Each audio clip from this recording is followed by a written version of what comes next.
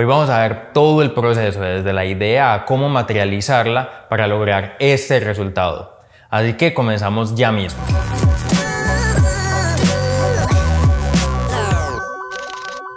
Hoy vamos a tomar la foto desde cero. Vamos a armar el set, vamos a hacer unas pruebas de iluminación, vamos a ver qué luz es la que más nos funciona para la idea que tenemos y cómo poder lograr ese resultado que tenemos en la mente y poder comunicar lo que es el producto y para qué funciona. Lo más importante es tener una idea clara. Como es un paquete oscuro, no es transparente, entonces no podemos ver el interior.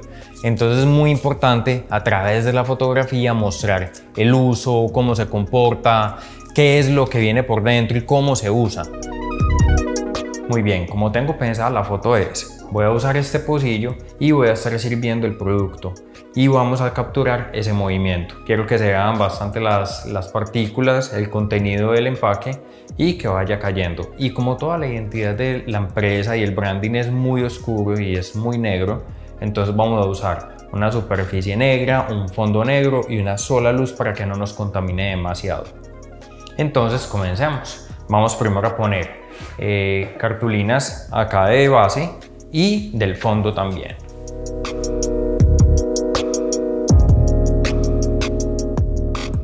Quiero usar un poco la iluminación en contraluz para que me pueda dar esos brillos a los lados y también poder capturar ese, ese contenido y se vea bien llamativo. Me gusta usar mucho el fondo a cierta distancia del producto y de la base para que la luz no me lo vaya a contaminar y así poder controlar un poquitico más luz y sombra. Veo que acá la cartulina está muy levantada y eso me va a afectar en el resultado, entonces la voy a doblar un poquito. Lo bueno de trabajar con estos materiales es que son muy económicos, entonces si tengo que dañar algo, si lo tengo que modificar, no hay ningún problema. Simplemente lo hacemos, eh, lo uso para cada foto. Si me quedan sirviendo para otras, perfecto. Y si no, no pasa nada. Me gusta siempre tomar fotos conectado al computador. Y vamos a conectar el cable. Y abrimos desde el Iron para estar visualizando cada una de las tomas que estamos haciendo. Muy bien, ya estamos listos entonces para comenzar. Ya tenemos la base, tenemos el fondo, tenemos la luz principal. Vamos a ver cómo nos funciona. De pronto me va a contaminar mucho el suelo, entonces es muy posible que después tenga que ponerla como más lateral y más desde abajo, no tanto desde arriba.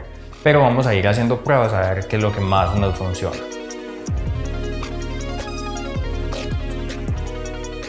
Muy bien, recordemos siempre tomar fotos con trípode, con un control para poderla disparar. Eh, ya una vez tenemos como la composición como la queremos, encuadramos la cámara como queremos ese ángulo y cómo se nos va a ver la foto. Después enfocamos y ya quitamos el foco automático. Hay que tener mucho cuidado con el enfoque. Y ya empezamos a hacer pruebas para poder setear la iluminación y la exposición que queremos. Muy bien, como estoy viendo un poco oscuro esta parte del frente, claro, porque toda la iluminación está en contraluz, voy a hacer una prueba con una tabla para que no rebote y a ver si nos va a iluminar un poquito y no nos afecta el, el suelo.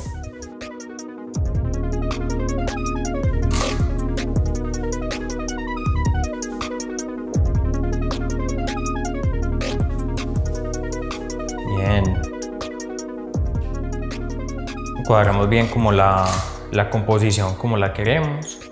Ok, la luz me gusta muchísimo y también el reflejo que me está dando esta luz de rebote, pero el suelo me está pintando demasiado. Entonces voy a hacer una prueba. Si la bajo un poquito eh, y la pongo de pronto como desde este lado, a ver qué tal, a ver qué pasa, a ver cómo se ve esa iluminación.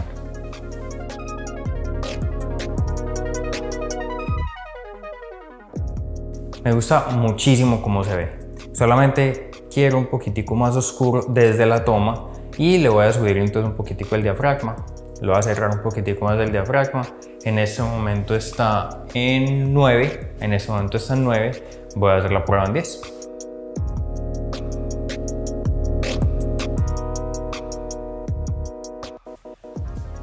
Muy bien, ¿qué pasa si quitamos el difuminador y ponemos una luz simplemente directa? Vamos a ver la luz cómo se va a comportar.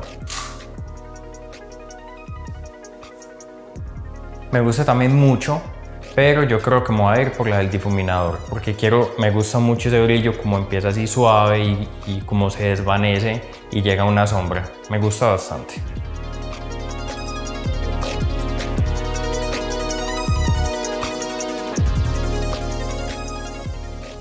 Muy bien, entonces definitivamente voy a tomar la foto con esta luz, con este difusor, pero le aumenté medio punto de potencia.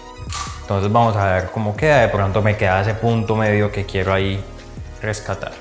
Perfecto, perfecto, me encanta la iluminación, como entra de un lado, esa sombra que me genera y me, me da como esa proporción o esa forma de, del pocillo, me gusta bastante.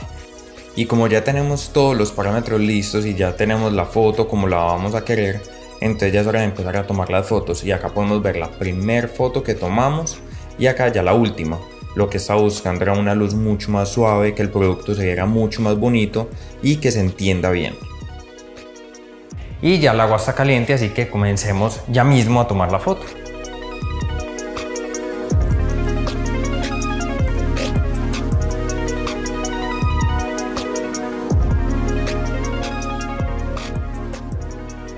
Muy bien, acá lo que estoy haciendo es que estoy viendo desde qué ángulo debo echar el producto, porque obviamente quiero que se vea la marca, quiero que se vea el, branding como tal. Y de acuerdo a cómo la luz haga contacto con el producto, eh, según el material, según el color o según el difusor o la, o la, luz que tengamos, va a tener una reacción diferente. Por eso es bueno hacer pruebas con diferentes posiciones para ver cómo reacciona y obtener el resultado que más nos gusta. Recordemos que en la fotografía de producto es muy importante el branding, el logo, todo el empaque que se vea bien y mucho más si tiene algún material brillante, por ejemplo este que es metalizado, entonces vamos a tener un reto más en cuanto a la iluminación para que se entienda bien todo el producto y se vea bien todo el sobre. Es muy importante ir limpiando constantemente todo el producto, eh, toda la superficie, porque esto nos va a ahorrar mucho tiempo en edición. Acá voy a usar una herramienta que hice un desastre, eh, que estoy pasando el contenido del pocillo a otro recipiente. Voy a limpiar y lo voy a volver a, echar en un recipiente totalmente nuevo desde otro ángulo, una foto totalmente diferente. Acá lo que estoy buscando es un comportamiento de las gotas, que sean las ondas, que se vea algo súper llamativo. Este va a ser un plano más cerrado, no va a ser tan general, y quiero generar ese efecto de, gotas muy bonito. Pero estoy viendo la necesidad de que el contenido, el líquido, se vea un poco más claro o con más textura. Entonces lo que quiero es que refleje el blanco a través de, del líquido. Y para eso estoy moviendo la luz para que quede un poquito más en contraluz y cuando genere las ondas me dé un poco más de textura.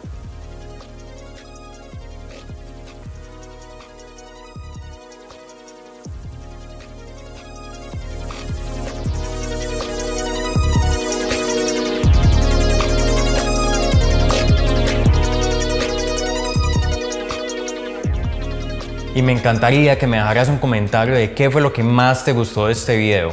Y si quieres información complementaria, te invito a que visites mi página luiscanofoto.com, donde siempre estoy publicando nuevo contenido. Y recuerda suscribirte a mi canal, activar la campanita de notificaciones, compartirles seguido a gente que le pueda interesar y nos vemos en el próximo video.